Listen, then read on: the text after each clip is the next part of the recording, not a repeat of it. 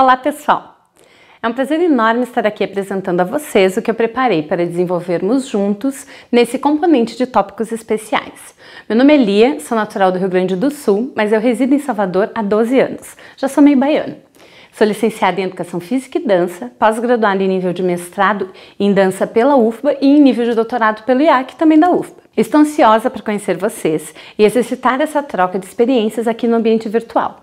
Fiquei muito feliz pelo convite de estar aqui e mais feliz ainda por poder trabalhar justamente com um componente de caráter tão aberto. Se vocês consultarem a ementa desse curso, perceberão que essa disciplina dispõe de 34 horas e para isso estaremos juntos por três semanas.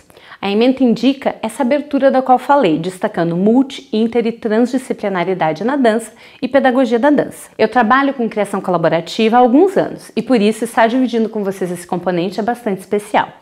No ambiente virtual de aprendizagem, vocês terão acesso ao material didático, que será um capítulo referente a esse componente.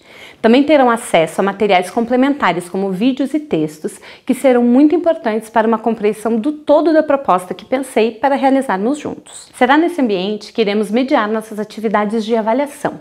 Para nosso trabalho, pensei nas seguintes etapas de avaliação. Primeiro, uma primeira atividade sobre entendimento de cultura. Segundo, uma segunda atividade que será sobre as ideias iniciais da proposição criativa de vocês. E a terceira e última etapa, que será a etapa final dessa proposição. Então, a primeira atividade é uma sondagem para conhecer vocês, como vocês se relacionam com o conceito de cultura. Para isso, vocês irão se basear no material didático e irão apresentar o pensamento de vocês. Isso poderá ser feito em palavras ou através de um vídeo. Fica a critério de vocês essa decisão, sendo que eu incentivo que vocês escolham o modo qual vocês se sintam mais confortáveis para expressar suas ideias. Para a atividade final, eu gostaria que vocês apresentassem uma proposição criativa. E o que, eu chamo de proposição criativa? Uma proposta de criação artística. Pode ser a respeito de uma pequena coreografia, uma videodança, um projeto fotográfico. Eu estou aberta a propostas que sejam do desejo de vocês. Mas, ainda que não tenhamos tempo hábil para algo muito extenso, eu pretendo perceber a aprendizagem de vocês através dessa proposição. A segunda atividade é uma prévia dessa proposição. Então, na primeira semana, na primeira atividade, vocês irão apresentar o entendimento de cultura, ok?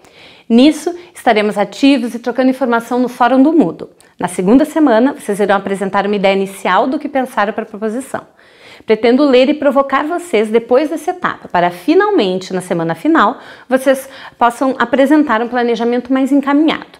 Nessa atividade final, eu espero receber um material escrito que explique o que, por que e como. Eu irei preparar coordenadas de trabalho no material escrito, explicando cada ponto desses, mas basicamente o que vocês irão tratar de dois aspectos: a manifestação, que vocês escolheram, e o objeto artístico.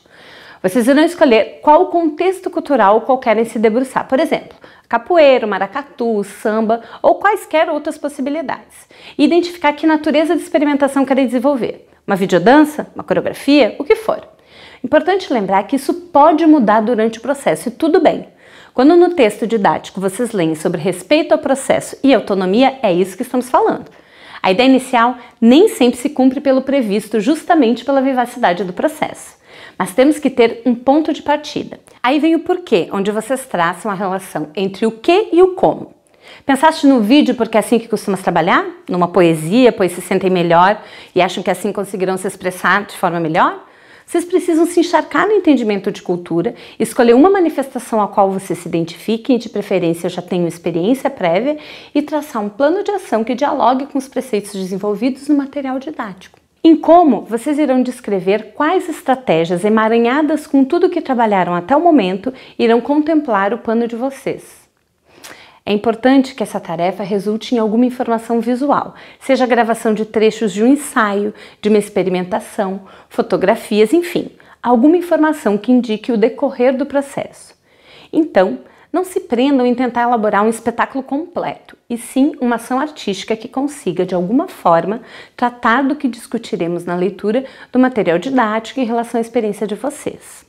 Bom, eu acredito que, no sentido de valorizar a cultura popular, especialmente através das experiências que vivenciamos na vida, é importante a gente se debruçar nesse estudo da cultura e no diálogo com a arte. No meu caso, e arrisco dizer no nosso, com dança. Eu espero que essa experiência de três semanas consiga provocar em vocês um novo modo de olhar a cultura, especialmente no sentido de entender o quão valorosa é a vivência pessoal de vocês. As cantigas de roda que os avós cantam, as benzeduras da senhorinha do final da rua, as coreografias complexas da quadrilha no São João, o terno de reis e assim por diante. Minha intenção aqui é que a gente se debruce juntos nesse modo de encarar a cultura, buscando identificar nas nossas vidas as mais preciosas experiências para que a gente possa enxergar isso como uma possibilidade potente e completamente atualizada em relação ao entendimento de contemporaneidade, que tanto se trabalha na academia. Hoje, mais do que nunca, é fundamental enxergarmos que o que os pesquisadores estudam no contexto acadêmico é sobre o que vivemos no nosso cotidiano. A arte contemporânea é sobre nós, eu, vocês, nossos antepassados todos. E um dos contextos mais ricos de nós percebermos é através das manifestações culturais, não necessariamente com o que se fala sobre elas, mas sim como as corporalizamos, experienciamos e vivemos. Enfim, eu não vejo a hora de conhecer um pouco mais de vocês com essa proposta. Espero que nosso trabalho juntos se torne pertinente para vocês. Então é isso. Sejam bem-vindos, espero que vocês estejam tão motivados quanto eu para realizar essas atividades. Até breve